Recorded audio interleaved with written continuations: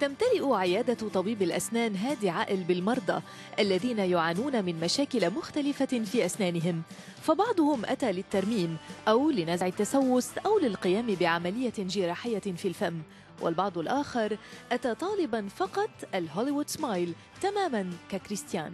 نحن اليوم بتاني جلسة لزقنا كل الأسنان الإدمانية وهلأ عم بعمل لها ال bridge provisoire آه، تا تفل كريستيان من عنا. إذا بناخذ shot نحن خلصنا السنين الإدمانية هون. والسنين الورانية أخذنا القياسات وهذا ال bridge provisoire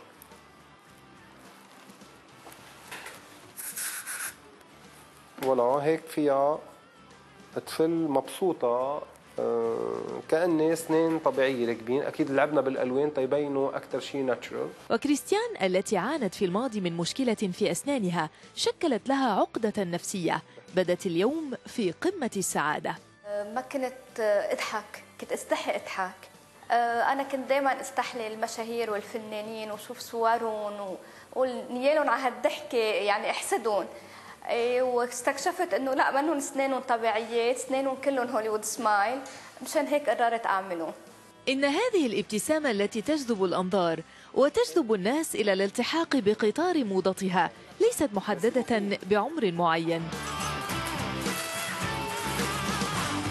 كنت دخن كثير والدخان نزع لي كثير اسناني ما كنت متصوره إنه هالقد بيعمل الدخان وبينزع السنان وبعدين آه، حبيت إنه أنا شكلي يكون حلو وكذا هيك وبسمتك تكون حلوة. بعدين يا ريت من قبل كنت فكر إنه أعمل اسناني لأنه راح وقت كثير لا تتشابه الحالات وبعض المرضى يمر بعدة مراحل قبل الوصول إلى النتيجة المرجوة.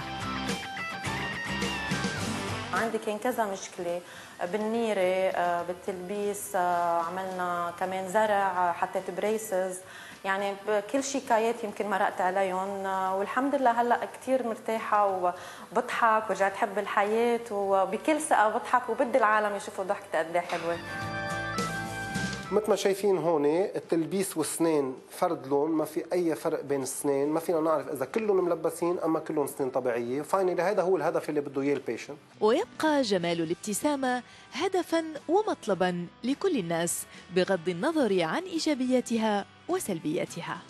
هوليوود سمايل أو ابتسامة هوليوود ما عادت حصرا بالنجوم والمشاهير فقط. بل باتت مطلبا ملحا لكل من يعاني من ابتسامة غير جميلة. فالابتسامة مفتاح القلوب. ميرنا غرزوزي اليوم على الحرة بيروت